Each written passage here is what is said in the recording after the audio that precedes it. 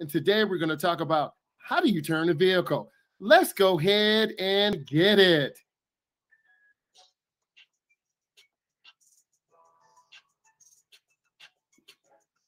All right, let's go ahead and talk about this first question. Which is the best procedure for making a lane change to the right?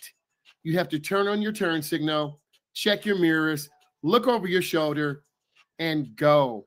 A lot of beginning drivers hesitate, and when you hesitate, you get cut off or get hit. Number two, you are changing lanes in traffic.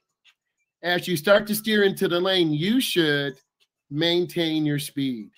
We know from experience, and I'm sharing this with you, beginning drivers tend to slow down, drift to the right, drift to the left, lose focus. You always have to be aware of your surroundings.